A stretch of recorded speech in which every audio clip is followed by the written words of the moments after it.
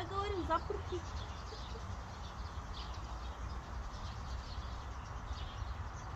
Мы скоро с тобой будем фильм снимать.